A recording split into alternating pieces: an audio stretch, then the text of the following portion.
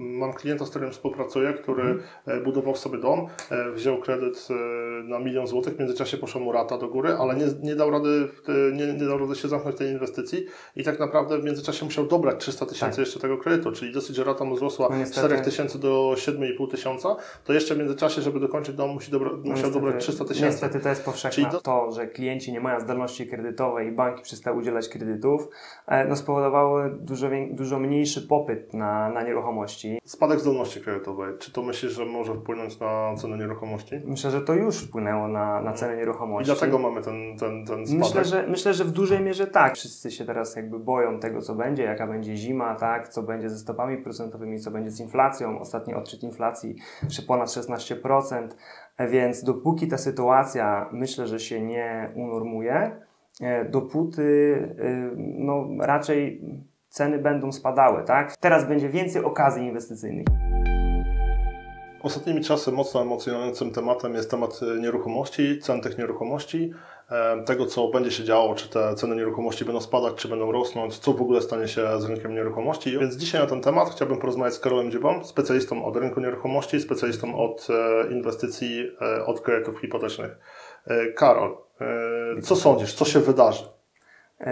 Znaczy na rynku nieruchomości bardzo, Co się dzieje na rynku nieruchomości? No, bardzo wiele się dzieje w ostatnim czasie. Na pewno to, że klienci nie mają zdolności kredytowej i banki przestały udzielać kredytów, e, no, spowodowało dużo, dużo mniejszy popyt na, na nieruchomości. Widać już e, w tych największych miastach E, delikatne zawracanie cen, czyli to nie są jeszcze jakieś ogromne spadki, natomiast, natomiast już można powiedzieć o, o tym, że ceny przestały rosnąć. No i co będzie jakby dalej, tego nie wiemy oczywiście.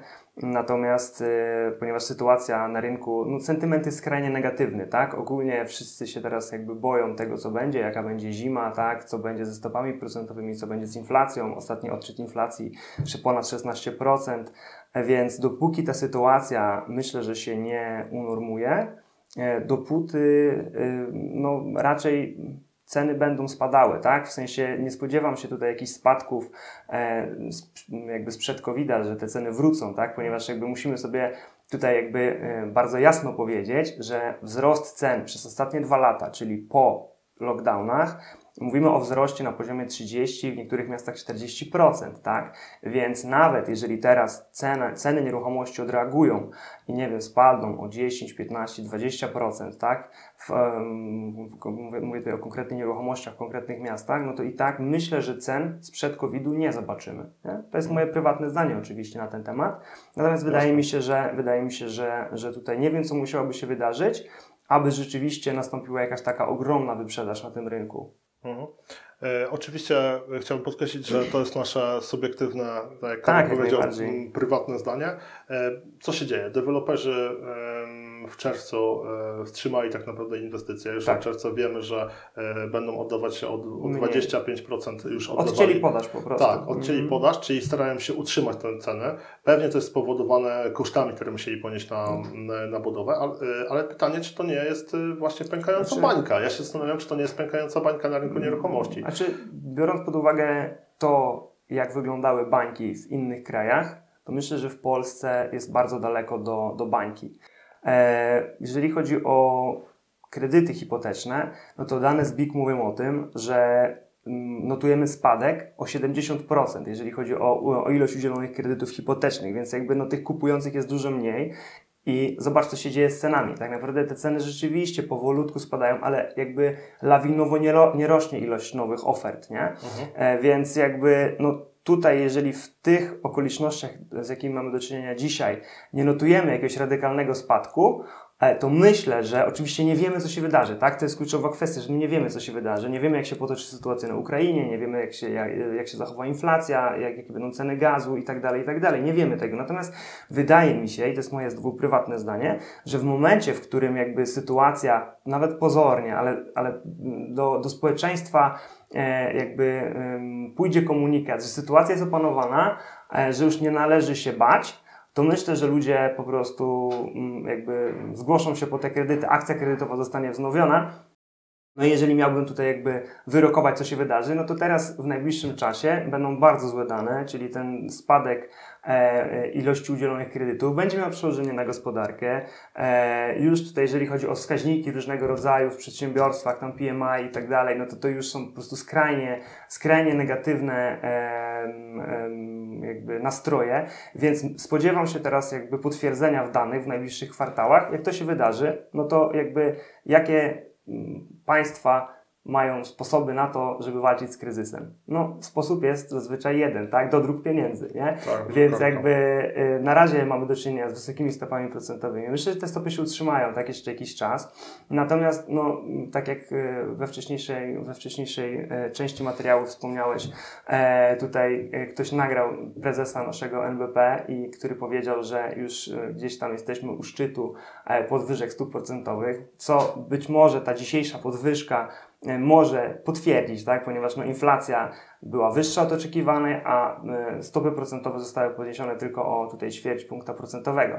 Więc jakby wydaje mi się, że, że jeżeli to jest prawda i mamy do czynienia z ze szczytem już stóp procentowych, no to w sytuacji, w której sytuacja zostanie zażegnana, przeżyjemy tutaj zimę, tak, i jakby nic jakiegoś takiego radykalnego się nie wydarzy, to myślę, że na wiosnę z powrotem tutaj sytuacja, jeżeli chodzi o rynek mieszkaniowy w Polsce, no będzie się skłaniała ku temu, żeby, żeby gdzieś tam rosnąć, nie? I żeby ludzie wrócą po prostu do tego Jasne. rynku. A czy myślisz, że tą sytuację, którą mamy teraz, można porównać do tej sytuacji, która była w 2008 roku, w sensie w Polsce? Bo my też, powiedzmy, może tak w miarę suchą nogą mhm. przeszliśmy, ale jednak ten spadek cen był odczuwalny i on też nie był taki drastyczny od razu, tylko tak naprawdę te mhm. ceny zaczęły spadać do, do 2015 roku ceny spadały, czy tam mhm. utrzymywały się na jakimś poziomie, ale najpierw e, od 2012 roku spadały jednak. Ale zobacz, mhm. dopiero, po, dopiero 4 lata po, mhm. tak, po, po, po, kryzysie, po, kryzysie, po, po, po jakby wybuchu tego kryzysu, tak. e, dopiero 4 lata później mm, ceny spadały. I ja to tłumaczę w ten sposób. Mhm. Zresztą co, co, co widzimy, tak? No bo mieszkanie jest ostatnie, czym oddajemy. Jeżeli nie musimy go sprzedać, nie musimy wymienić na mniejsze, jeżeli potrzebujemy tego większego, mhm. jeżeli potrzebujemy tego domu, to nie będziemy chcieli rezygnować z tej mhm. nieruchomości. W Polsce mamy zakorzenione, że to jest nasza nieruchomość, będziemy Jasne. bronić do końca i tak dalej, i tak dalej. E, więc e, te spadki cen e, dzisiaj e, coś tam pokazują, no bo jeszcze trzeba wziąć pod uwagę, że mamy inflację 16%, tak, czyli wszystko tak. drożeje, tak? E, zaraz może się okazać, że w cenie mieszkania będziesz kupował samochód, nie? Tak. jak tak dalej pójdzie. A tutaj jednak mamy spadek ten, tych cen i to jest dopiero początek. Jeżeli mhm. powiedzmy mm, pękła Oczywiście. banka, mhm. to znaczy, jesteśmy dopiero na początku. Yy... Być może, być może, no, nie, nie, wyklu, nie mhm. wykluczam absolutnie taki, te, takiego scenariusza, natomiast no, obserwując to, co się dzieje i jakie są nastroje i, i podejście tutaj e, osób, które, które chcą kupić, chcą sprzedać nieruchomość, no, nie porównywałbym jednak tych sytuacji do siebie. Mhm. E, biorąc pod uwagę nawet rynek najmu, tak, no, jeżeli chodzi o, o rynek najmu, to tylko w tym roku, od stycznia, w największych miastach w Polsce, to jest wzrost cen czynszy o około 30%. Oczywiście znowu mamy do czynienia tutaj z napływem dużej ilości tutaj e, osób ze wschodu i tak dalej, i tak dalej. Natomiast no, nie zmienia to faktu, że E, jakby nie widzę czynnika, który miałby spowodować, który miałby być takim czynnikiem zapalnym, że nagle teraz wszyscy zaczną sprzedawać nieruchomości, ponieważ jakby przy obecnych cenach nieruchomości e, jakby stopy zwrotu z najmu to jest około 7% nawet, nie? W zależności oczywiście od sytuacji, za ile kupimy i tak, dalej, i tak dalej. I tak dalej. Od miasta i tak dalej. Natomiast 7%. No i teraz znowu, jak sobie spojrzymy na e, gospodarki bardziej rozwinięte, no to to jest bardzo wysoki, jakby bardzo wysoka stopa zwrotu. No nie bez powodu fundusze inwestycyjne inwestują nadal jeszcze w Polsce, tak? Mhm. Korzystają z, załóżmy z tej wyprzedaży, e, gdzieś tam od deweloperów w dużych miastach kupują te mieszkania, mhm. nie? Więc jakby tutaj pod tym względem jakby, żeby też to tak nie wybrzmiało, że ja tutaj jestem, uważam, że ceny będą cały czas rosły. Absolutnie tak nie jest, ponieważ popyt jakby spada, e, bank nie udzielają kredytów. Ale nie uważam, że to była bańka. Nie że... uważam, że to była bańka. Nie uważam, że to była bańka. Wydaje mi się, że, że tutaj e, w sytuacji, w której jakby sytuacja się unormuje, e, to nawet przy, przy tych cenach, które mamy e, dzisiaj, to znajdą się chętni na zakup nieruchomości. O, może tak. Myślę, że zgadzamy się w jednym, że tąpnięcia jeszcze nie widać. Nie widać. E, tylko pytanie, czy będzie, bo ja myślę, że Mhm. jednak ta skala tej przeceny może być. Mhm. Pytanie, jak mocno ją skonsumuje inflacja, bo jeżeli No tak. dostaniemy wyższą inflację, to ten spadek cen może być e, mały albo nawet znikomy, może w ogóle nie- go nie być, tylko że z kolei będziemy e, Mhm. mieli utratę wartości pieniądza, więc de, de facto, de facto realnie, realnie wartość tych mieszkań e, spadnie. Ale to, co wcześniej zauważyliśmy, to że mm, zwiastunem problemów e, w sektorze e, szczególnie kredytów hipotecznych, bo, bo bym się skupił, bo jeżeli faktycznie ktoś Mhm. e, kupował mieszkanie za gotówkę i będzie sobie realizował 7, 5%, nawet 3%, No tak. to nie jest dla niego tragedia. Okej, mógłby nawet więcej zarobić na lokacie, być Mhm. może bezpieczniej, ale jednak ma tą nieruchomość, nie musi jej sprzedawać. Gorzej pewnie jest wśród klientów, którzy mają No, kredyty. no, I jednak jeżeli powiedzmy komuś wzrosła, rata z, No tak. z 2 do 4 tysięcy złotych, on już To może rozważać. I teraz tak, on, Mhm. on rozważa, może przeniosę się do mniejszego, e, może sprzedam i będę wynajmował, e, bo mnie nie stać na obsługę i tak dalej. Myślę, że kluczowe jest tutaj obserwowanie Mhm. jakby e, specjalności tych kredytów. Mhm. tak jak sam wspomniałeś, jakby na obecną chwilę nie widać, aby jakby tutaj cokolwiek się działo w tym zakresie. No i Czyli mamy, mamy wakacje kredytowe. No i wakacje pomagają. kredytowe zdecydowanie. Krótkoterminowo, Ale pomagają. zdecydowanie, zdecydowanie, więc to też uspokoi sytuację na rynku. E, więc no mówię, na obecną chwilę nie widzę jakby takiego czynnika zapalnego, który miałby spowodować jakiś krach. O, mo, może, Mhm. może tutaj to będzie takie trafne, trafne podsumowanie. Jak najbardziej liczę się z tym, że teraz będzie więcej okazji inwestycyjnych i znowu dla niektórych osób jest to jakby mm, minus, ponieważ no, ceny nieruchomości spadną. Jak chcą sprzedać, no to będzie na pewno trudniej sprzedać tą nieruchomość, jakieś takie mm, nieruchomości mniej atrakcyjne w gorszych lokalizacjach i tak dalej, je będzie trudniej sprzedać.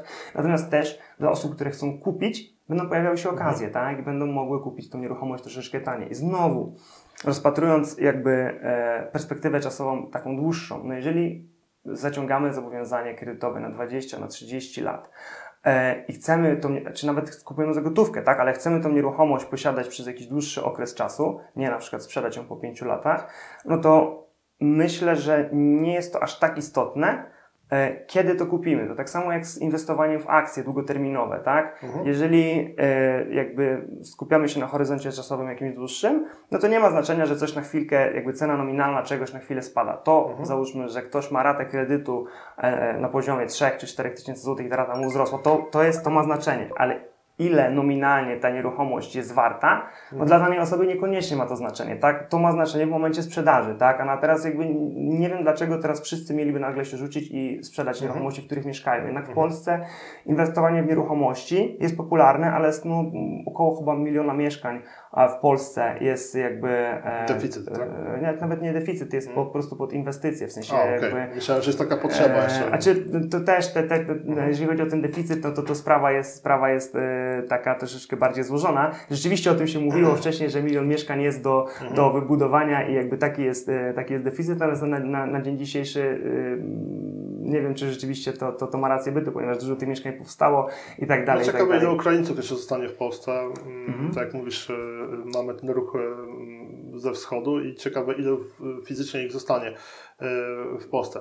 Ale jeszcze jedna rzecz tutaj się zmieniła. Nie wiem, czy ona będzie miała jakiś wielki wpływ, Mhm. natomiast to, co ja zauważyłem, to licytacje komornicze. Tak? Mhm. Jeżeli obserwuję, to Obrodziło.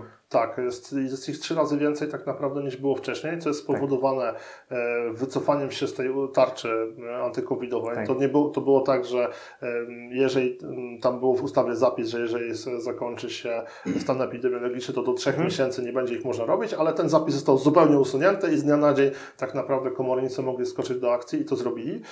I na rynku pojawiają się, trudno powiedzieć, czy okazje, nie? Bo, Mhm. bo jednak Ale dalej... są, te nieruchomości są raczej wycenione rynkowo, więc jakby Raz, tutaj... rynkowo, a dwa, że dalej jest jeszcze parcie ludzi, którzy mają Tak. gotówkę i szukają.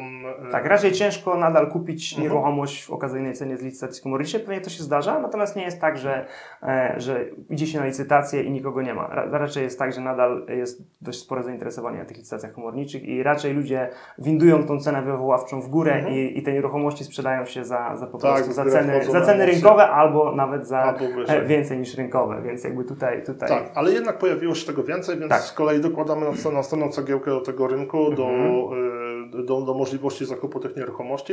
Też drugą rzeczą, którą trzeba obserwować y, na pewno jest ilość y, Ofert. ofert na rynku. Mhm, Nie? zdecydowanie. I to, to co, co znalazłem, już nie pamiętam na jakim portalu, jakieś związane z nieruchomościami, Mhm. że jest większa skłonność y, teraz klientów do negocjacji. Tak? Tak, to Czyli, że te ceny transakcyjne potrafią być nawet o 20% Oczywiście. niższe niż ceny pierwotnie tak. wystawionej nieruchomości. Więc jeżeli ktoś kupuje, em, kupuje za gotówkę w szczególności, to ma tą możliwość, e, a pe- pewnie teraz większość mieszkańsk e, kupuje Tak. się na gotówkę z Rozmawiałem z tego, że notariuszami i rzeczywiście Mhm. to się potwierdza, e, że większość transakcji, e, z jakimi tutaj mamy do czynienia, no to są transakcje gotówkowe. Mhm. Nie? Jednak te transakcje nadal są, ich jest mniej, ale rzeczywiście, rzeczywiście większość to są transakcje gotówkowe. Okej, jak oceniasz, jak myślisz, czy klienci e, banków e, przestaną spłacać kredyty?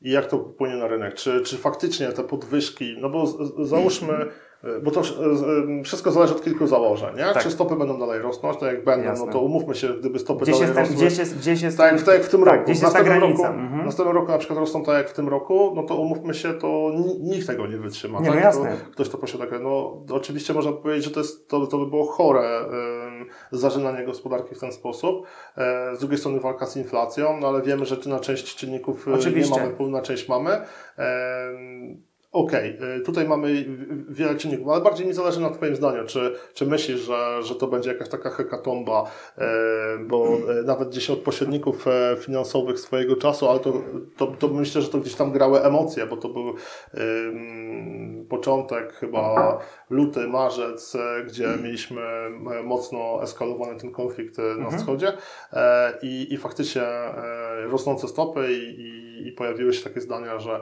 że duża część, znacznie Mhm, większa część e, Znaczy, generalnie w Polsce, w Polsce jest tak, że jakby e, Kowalski mm, jakby mm, zmniejszy swój standard życia, a jednak tą ratę kredytu hipotecznego będzie płacił i obroni, obroni to. Więc ja myślę, że oczywiście pewnie przy, tym, przy tych rosnących kosztach życia gdzieś jest ta granica, gdzie po prostu społeczeństwo się wkurzy i powie, Mhm. nie spłacamy dalej tych kredytów, tak? Jasne. Natomiast A tutaj jeszcze chciałem tylko powiedzieć, że jeżeli chcecie się dowiedzieć, w jaki sposób y, można ograniczyć koszty kredytu hipotecznego złotowego, to zerknijcie do wcześniejszego materiału, bo o tym wspominaliśmy. No spłacalność kredytów jest świetna, nie? bo jak y, ja sobie patrzyłem, to jest 1,2% w skali polskiej. Oczywiście tam między e, województwami to się różni. Najciekawsze jest to, że województwa em, wschodniej i południowej Polski mają o wiele lepszą spłacalność i w ogóle by, y, też ludzie Ale- biorą mniej kredytów niż na przykład na e, z tym, że- północnym zachodzie. Z, z tym, że nadal jakby te, ta niespłacalność to jest jakby jakiś tam margines, jakby, tak? Tak, Na razie, 1,2% ma problemy ze spłatą kredytu. więc,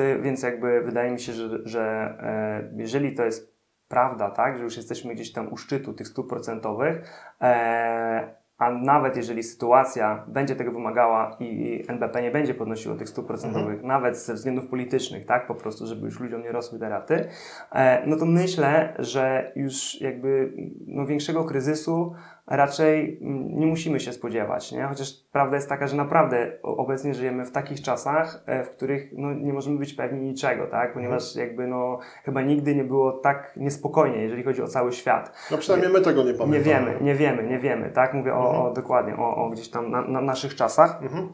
Więc trudno jest powiedzieć. Natomiast jeżeli chodzi o tak, w mojej ocenie, sytuację ogólnie na rynku kredytowym, na rynku nieruchomości, czy widzę jakieś podobieństwo do tego, co było na przykład w Stanach, do tego, tego kryzysu z 2008 roku, e, to ja nie widzę. W tym momencie jakby oczywiście e, te ceny mogą spaść, natomiast nie wydaje mi się, żeby, żeby tutaj jakby e, wszyscy nagle teraz powiedzieli, że nie spłacają kredytów albo, że nie wiem, sprzedają swoje nieruchomości. Wydaje mi się, że po prostu jeżeli przy, przy tym poziomie zobowiązań, no nie licząc tych wakacji kredytowych, większość osób była w stanie jakoś kiepsko może, ale regulować te swoje zobowiązania, to myślę, że, że jakby to dalej gdzieś tam przez ten najtrudniejszy okres e, jakby przejdzie i, i po prostu, a jeżeli nie przejdzie, jeżeli byłaby taka sytuacja, że rzeczywiście stopy będą podnoszone, no to jak widzimy, będą rozwiązania systemowe, tak? Jakby tutaj jakby, Tak, więc jakby, więc jakby jakaś poduszka, jakaś poduszka Mhm. będzie gdzieś tam podkładana, nie? Tym osobom i myślę, że tutaj jakby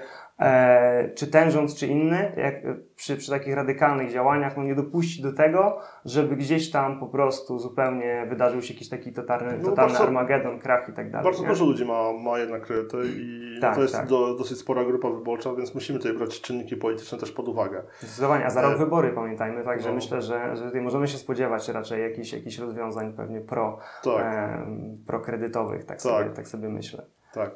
Spadek zdolności kredytowej. Czy to myślisz, że może wpłynąć na cenę nieruchomości? Myślę, że to już wpłynęło na, na cenę nieruchomości. I dlatego mamy ten, ten, ten spadek? Myślę że, myślę, że w dużej mierze tak, no ale generalnie po prostu, no, tak jak mówiłem wcześniej, mamy bardzo negatywny sentyment mhm. na rynku. No i teraz każdy boi się podejmować jakichś zobowiązań, e, m, takich jak, nie wiem, zakup mieszkania. Każdy odkłada to w czasie, mhm. ponieważ jakby jest tyle niewiadomych, nie wiadomo ile będzie kosztował gaz, ile będzie kosztował prąd, ile będzie kosztowało paliwo, mhm. czy jakby nie wzrośnie bezrobocie i tak dalej. Więc dopóki mamy do czynienia z tak niepewną sytuacją, to myślę, że, że no, jakby wiele osób będzie się wstrzymało z podjęciem decyzji mhm. o zakupie nieruchomości. Nie? Jak ta sytuacja się unormuje, no to wtedy wszyscy wrócą do tego i wtedy mhm. możemy mieć do czynienia naprawdę z taką drugą hostą. Czyli tak jakby podsumowując, wydaje mi się, że teraz będziemy mieli do czynienia właśnie ze złymi danymi, tym, że nieruchomości spadają, tak, jakby te ceny są niższe. I to będzie determinowało następny spadek, tak, no bo jeżeli dokładnie. to wiedzą, że ceny spirala, spirala taka oczywiście. będą chcieli sprzedać, to będą wiedzieli, aż że do, muszą obniżyć. Dokładnie, aż do, aż do sytuacji, w której rzeczywiście ta akcja kredytowa zostanie wznowiona, mhm. albo właśnie zostaną wprowadzone kredyty na stałym oprocentowaniu przez cały okres kredytowania,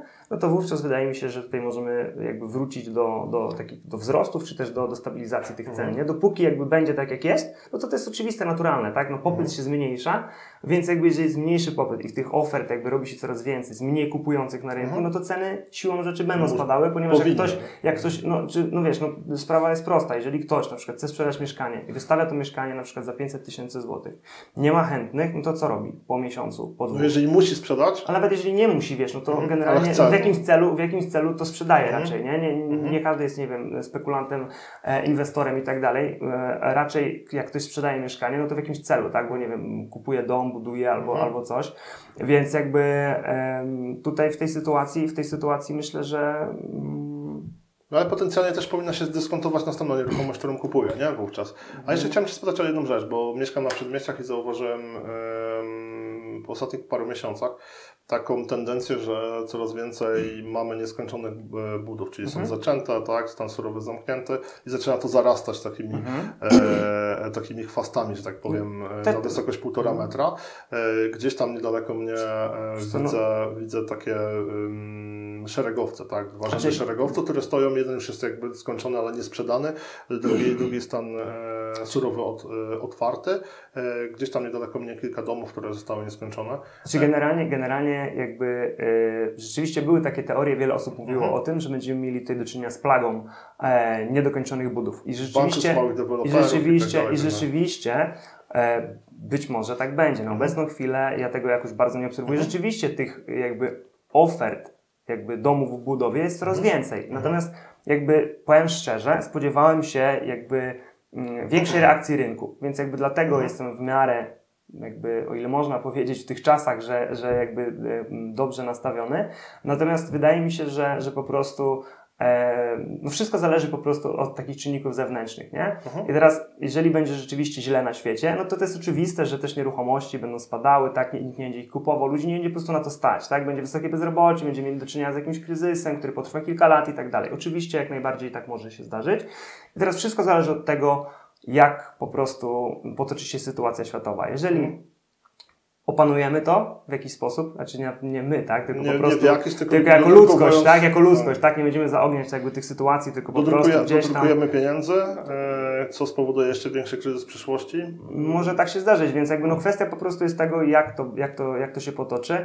E, i myślę, że w perspektywie najbliższych tam sześciu 8-10 jakby miesięcy będziemy wiedzieć jakby coś więcej, mhm. w sensie czy rzeczywiście idziemy w stronę takiej światowej recesji, bo jeżeli tak, no to jakby nie ma o czym mówić, tak, no jakby nieruchomości w Polsce nie będą zieloną wyspą, tak, jeżeli wszędzie e, jakby e, ta bańka pęknie, chociaż nie uważam, że w Polsce jakby mhm. mamy do czynienia z bańką, tak, natomiast no, jeżeli taka sytuacja będzie miała miejsce, no to w Polsce też te ceny będą spadały, to jest jakby oczywista, mhm. oczywista sprawa, natomiast w sytuacji, w której jakby rzeczywiście wszystko się w miarę ustabilizuje, raty kredytów będą na normalnym poziomie, oprocentowanie będzie na e, normalnym, racjonalnym poziomie, nie wiem, kilku procent, tak, a nie tak jak teraz, nie wiem, w okolicy 10, tylko na przykład, nie wiem, w okolicy 3, 4, albo zostanie wprowadzone jakieś mhm. rozwiązanie systemowe, mhm. właśnie jakichś kredytów na stałej stopie przez cały okres kredytowania, to myślę, że po prostu jakby popyt na te nieruchomości wróci, ponieważ bardzo wiele osób jeszcze jakby, no, jest przed tym etapem zakupu tego mhm. pierwszego swojego mieszkania, nie? Więc jakby e, myślę, że tutaj, no mówię, bardzo wiele rzeczy na to może wpłynąć, natomiast raczej, jeżeli nie będziemy mieli do czynienia z jakąś zewnętrzną, bardzo złą rzeczą, no to, to tutaj jestem o to spokojny i, i prędzej czy później powinno to jakby się ustabilizować. O, może mhm. tak bym to podsumował. Ja obstawiam trochę inaczej. Myślę, że w ciągu dwóch, trzech lat e, te mhm. ujrzymy, e, nie wiem czy mocno, ale może nie krach, ale 20% spadek cen nieruchomości mhm. Nominalne, to, czyli to biorąc tak pod uwagę tak inflacji, biorąc pod uwagę inflację E, pewnie to będzie większe, bo mhm. wartość no pieniądza no tak, oczywiście tak. nam ucieknie e, w czasie. Natomiast e, myślę, że to też nie jest takie złe dla rynku, no tak? No bo z kolei po każdych, po każdych ludzie przez to będą mogli kupić sobie, nie wiem, czy dom, czy mieszkanie. Oczywiście, ale tak po każdych, generalnie to, to, to jest mhm. jakby zupełnie normalne, tak? Że po tak jakby kosmicznych wzrostach, no mhm. w tak krótkim czasie, no musi być odreagowanie mhm. na rynku, nie? I to byłoby normalne. No kwestia tego, czy po prostu jakby polska gospodarka będzie w takim stanie, w mhm. którym jakby chcielibyśmy, żeby była, tak? Czyli czy będzie w miarę miarę stabilnie, czy rzeczywiście, nie wiem, bezrobocie wzrośnie, będą, Myślę, będzie, fala ba, będzie fala bankructw, no bo to byłby problem, mhm. tak? Wtedy jakby spadek cen nieruchomości będzie naszym najmniejszym problemem, nie? I jakby, jakby wszystko od tego zależy. Jeżeli, jeżeli tutaj jakby e, to wszystko gdzieś tam rozejdzie się w miarę po kościach, coraz mniej w to wierzę, mhm. ale generalnie no jakby widzę taki scenariusz, tak? Że, że może tak się zdarzyć, że gdzieś tam wszystko się ustabilizuje, no to wtedy też te nieruchomości jakby e, będą w normalnych cenach. Jeżeli będzie po prostu bardzo źle i ludzie nie będą mieli e, jakby z czego płacić tych rat, no to oczywiście ceny spadną i ceny mhm. spadną pewnie dużo, dużo bardziej. Mhm. Także musimy poczekać, e, zobaczymy. Zobaczymy. E, ostatnia rzecz, którą chciałem dzisiaj poruszyć, to inwestycje w nieruchomości z Twojej perspektywy.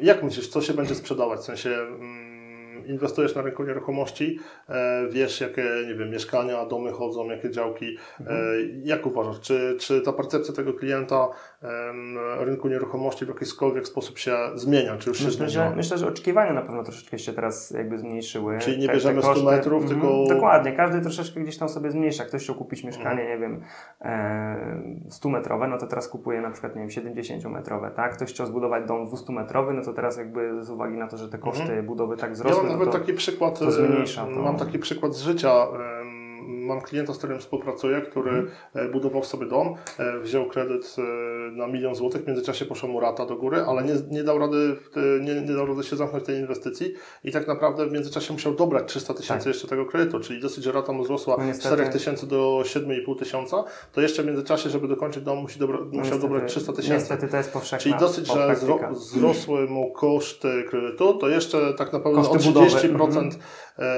Nie, niedoszacowana była sama, sama budowa domu i dokończenia nie, tej no, inwestycji. No, no. Więc tutaj to jakby widać, widać tą skalę, nie? widać tą skalę. Czyli ja też tak uważam, że raczej będziemy e, chłodzić będzie, każdy będzie starał się patrzeć, co, co się dzieje, obserwować tak. ten rynek i zmniejszyć. Czekać, czekać, tak, czekać. Kupić tam, 2 metry mniej, 3 tak. metry mniej, 4 metry mniej, kupić sobie na chwilę kawalerkę, zobaczyć, tak. co się stanie, kupić sobie dwupokojowe mieszkanie zamiast trzypokojowego i analogicznie trzypokojowe zamiast czteropokojowego, e, czyli schodzimy z tych. No, no zobacz, zobacz, co się dzieje na rynku, zobacz, co się dzieje na rynku najmu jednak. Mhm. E, jakby te ceny nie spadają, nie? Te ceny nie spadają, te stopy zwrotu nadal się utrzymują mhm. na podobnym poziomie, więc y, dopóki kredyty... A z kolei rosną też koszty, nie? Dopóki, dopóki tak, dopóki kredyty jakby są spłacane, dopóki te, te mhm. ceny najmu w miarę są na takim stabilnym poziomie, czy też jakby no, no, gdzieś tam cały czas one rosną, no to, to myślę, że, że tutaj jakby ta sytuacja jest jeszcze taka jakby nierozegrana do końca, nie? W mhm. sytuacji, w której rzeczywiście mielibyśmy do czynienia tutaj z jakąś taką falą niespłacanych kredytów, z ogromną ilością licytacji komorniczych, z, ze spadkiem ceny najmów, tak? No to wtedy rzeczywiście no już raczej, mhm. raczej mm, to byłaby taka pętla, która by powodowała naprawdę Raczej wątpię, takie, żeby ceny najmu spadały, nie? Bo biorąc pod uwagę rosnące koszty i tak dalej, już nawet nie licząc tego kredytu, ale biorąc pod uwagę te koszty, to, no e, to wątpię. A jak myślisz, flip czy najem? Co e, w sensie, to... w którą stronę, że tak powiem, bardziej będzie szedł rynek, nie? No bo mamy ludzi, którzy są powiedzmy inwestorami, mhm. wcześniej na przykład byli fliperami i tak dalej, a mhm. dzisiaj, dzisiaj mogą stwierdzić, ok, mogę trochę wyhamować, mhm. zastanowić się, część z tych nieruchomości wynająć, zobaczyć jak, jak to jest, czy... czy... Ja, myślę, że, ja myślę, że tutaj kwestia mhm. to jest naprawdę, wszystko zależy od jakiejś strategii wiesz, inwestycyjnej ceny, danej tak. osoby i tego, co, co ktoś Niby chce, tak, co ale ktoś wiesz, chce ja myślę, że jesteśmy też w momencie, gdzie ta strategia się trochę zmienia, no bo jeżeli ktoś się flipował mm -hmm. i tak naprawdę tylko, że, choćby zarabiał tylko, na, na wzroście wartości, bo tylko, ja znam takie sytuacje, tak. że na przykład ludzie kupowali mieszkania u dewelopera e, tak. dwa lata wcześniej, tak. E, sprzedawali umowy przystępne i z samej umowy przystępnej sprzedawali, tak, tak sprzedawali, sesji sprzedawali, mhm. sprzedawali zarabiając tam e, ileś procent, nie? No tak, problem pojawia się, wiesz, w sytuacji, w której na przykład osoby zarabiały na tej sesji, na przykład załóżmy, e, znam takie przypadki, gdzie ktoś na przykład wpłacił nie wiem, pół miliona złotych na 10 sesji po 50 mhm. tysięcy złotych, mhm. chciał po prostu to sprzedać z zyskiem i nagle się okazało, że nie ma chętnych na to, nie, nie ma kupujących. Dzisiaj teraz, może tak być. No i teraz, no właśnie dzisiaj tak jest. I teraz mhm. chodzi o to, że teraz ta osoba na przykład jest w stanie sprzedać tą sesję już nawet nie z zyskiem, nawet nie za tyle samo, tylko na stracie, nie? Więc jakby takie sytuacje będą miały miejsce i jakby tutaj naprawdę trudno jest przewidzieć, co, co, co jakby się wydarzy. A jeżeli chodzi o inwestowanie, no to myślę, że nadal nieruchomości są w miarę bezpieczną taką formą inwestowania, tak? Tak? No mówię, mhm. wszystko zależy od tego, e, na co kto liczy, nie? No bo jeżeli załóżmy ktoś jest fliperem, e, no to rzeczywiście będzie mu dużo trudniej pewnie teraz sprzedać, albo ta ekspozycja nieruchomości na rynku będzie trwała dłużej. Już nie będzie tak, że wystawi mieszkanie, na przykład sprzeda to mieszkanie w ciągu tygodnia. Sam widzę gdzieś tam e, po sobie, że gdzieś tam no, inwestuję na dość małą skalę, tak? Gdzieś tam czasami jakieś mieszkanie wpada. Mam też jakieś mieszkania w, w, w najmie długoterminowym. No i teraz też na przykład sprzedawałem mieszkanie i normalnie myślałem, że to mieszkanie mieszkanie pójdzie szybciej, sprzedawałem je prawie miesiąc, tak? Mhm. I też musiałem obniżyć jakby cenę, więc jakby mhm. no, to ma miejsce. E, z tym się trzeba liczyć. Natomiast e, no, nadal te mieszkania się jeszcze, jeszcze się sprzedają. Pewnie z tego, co, co gdzieś tam słucham, z tego, co obserwuję, w różnych miastach jest bardzo różnie. Czyli nie jest tak, że w całej Polsce ani się nie sprzedają, ani się sprzedają. To nie jest tak. Po prostu w różnych miastach po prostu jest, jest bardzo różnie. W niektórych miastach mhm. jest lepiej, w, innych jest troszeczkę gorzej. Um, więc jakby jeżeli chodzi, wracając do Twojego pytania odnośnie jakby samej strategii inwestycyjnej i tego, czy, czy warto robić jedno czy drugie, myślę, że ostatnie lata y, pozwoliły wielu osobom zgromadzić dość sporo jakby kapitału, E, I teraz te osoby, można powiedzieć, że siedzą i czekają na te spadki. Czekają nie? na spadki, czekają, co się więc wydarzy. Dla nich, więc dla nich, więc dla nich, więc dla nich jakby, nawet, nawet można powiedzieć się cieszą z tego, nie? Także, także mm, no Wiadomo, rynek nie lubi próżni, zawsze sobie ktoś tam znajdzie to, e, to miejsce. A jeżeli chodzi o inwestycje w nieruchomości i takie niebezpieczeństwa, ja sobie tutaj wypisałem, powiedzmy, taki katalog mhm. rzeczy, które częściowo oczywiście mogą się zupełnie nie ziścić, ale e, jeżeli chodzi o obecną sytuację, ja raczej jestem bardziej czarnowidzem. Trochę o tym rozmawialiśmy, cena regulowana e, regulowanie czynszu, no bo jeżeli teraz tak, raty kredytów rosną i tak dalej, no tak ktoś będzie to podbijał, e, szczególnie w, w dużych miastach, czy, czy, czy, uważasz, że to jest... E, no to jest e, ogromne zagrożenie. Tak naprawdę, jak jeżeli mam być szczery, to sobie nie wyobrażam takiej sytuacji, mhm. żeby Gdzie państwo, reguluje, zarzucić... że czynsz na przykład za metr nie może przekraczać no tak, takiej, to by, to by, to by w ogóle jakby... Oczywiście można... nie mówimy o komercji, mówimy o... Tak, tak, ale to by, to by myślę, że, że mogło mm, mocno wpłynąć na rynek. Myślę, że wiele osób po prostu przestałoby inwestować nie? w nieruchomości nie. na wynajem. To jest rynku, to jest no, zacznięcie no. rynku. Nieruchomości pod wynajem. E, takie rzeczy oczywiście myślę, w historii że, się zdarzały myślę, i się zdarzają, choćby myślę, Berlin to, czy Nowy Jork. Myślę, że raczej... Mm, ale jakby, to konsekwencje tego były tragiczne. Myślę, nie? że raczej nie, powin, raczej nie powinniśmy spodziewać się tego, żeby w Polsce to weszło. E, myślę, że w Polsce ogólnie osoby są przywiązane do, do, do tej własności, do, do tego, żeby jednak jakby rozporządzać tym swoim mhm. majątkiem. Więc myślę, że tutaj, jeżeli chodzi o społeczeństwo, to raczej, raczej e, większość byłaby przeciwna temu. Oczywiście, no chyba, żeby doszło do sytuacji, w której naprawdę byłoby tak, jak nie wiem, słyszałem w Irlandii, e, ogólnie jest problem z, z tym, żeby osobę, która na przykład zarabia, nie wiem, średnią pensję, było stać na mieszkanie takie mhm. normalne, na przykład nie wiem, 50-metrowe. No, szczególnie w dużych aglomeracjach. I nie? mam znajomego, który tutaj mówi, że coraz popularniejsze robi się wynajmowanie nieruchomości na pokoje, tak? Tak jak dla studentów się wynajmuje, to tak teraz osoby, mhm. które normalnie pracują na etacie, mhm. E, wynajmują w kilka osób jedno mieszkanie na przykład, żeby zmniejszyć te koszty utrzymania, więc jakby znowu wszystko gdzieś tam, znaczy nie ma pewności, w którą stronę mhm. to pójdzie. Jeżeli będzie sytuacja taka, że naprawdę ludzi nie będzie na to stać, to, to być może, natomiast wydaje mi się, że wtedy to inwestowanie w nieruchomości no, bardzo by utraciło na, na atrakcyjności. No i spadek e, e, cen na rynku nieruchomości mógłby też wtedy być drastyczny, prawda? No. Ale to raczej taka rzecz, która małe prawdopodobieństwo, że się zdarzy. E, rosnące koszty eksploatacji, nie? No, to też jest inwestycja w nieruchomości, musimy gdzieś tam to brać pod uwagę. No tak. Nie wiem, mamy ogrzewanie gazowe, tak? Tak, to się diametralnie zmieniło. nie? Zmieniło się w ostatnim, Tak. w ostatnim czasie, bo wcześniej e, ogrzewanie gazowe było uznawane za jedno z najtańszych, no w ostatnim czasie, tak, ekologicznie w ostatnim czasie, no to się zmieniło, a ma się zmienić ponoć jeszcze bardziej, bo już słyszałem o, o, o, o prognozach, gdzie w 2023 roku e, jakby koszt utrzymania, e, koszt ogrzania domu e, miał wzrosnąć z 5 na przykład do 25 tysięcy złotych. No, nie wyobrażam sobie takiej sytuacji, prawdę mówiąc, nie? Co, Mhm. co, co, jakby, co jakby się wydarzy, jeżeli rzeczywiście by doszło do takich podwyżek.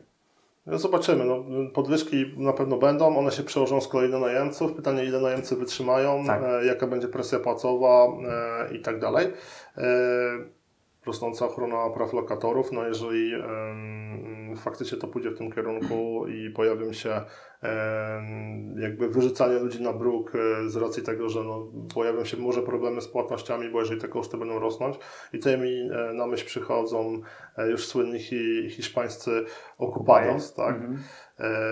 em, którzy, tak, nawet Ty mi opowiadałeś chyba historię jakiegoś architekta, który Tak, miał tak, dom za pan 2 miał- miliony. E, Pan, pan miał dom za 2 miliony, za 2 miliony euro i tak naprawdę wyjechał gdzieś w delegację i jak wrócił, to okazało się, że już jakaś rodzina tam mieszka.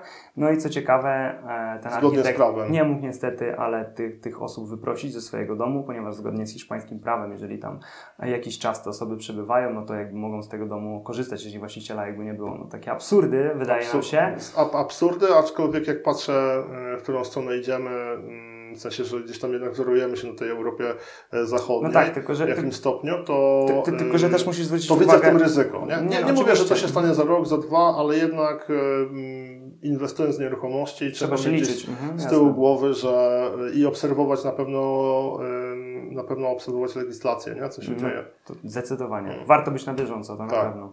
Jeżeli podobała Ci się nasza rozmowa, zostaw łapkę w górę, daj suba.